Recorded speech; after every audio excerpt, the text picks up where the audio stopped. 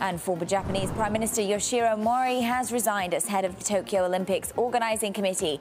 Mori had made sexist remarks that added more troubles to the Tokyo Games that led to criticism from the International Olympic Committee and sponsors such as Toyota.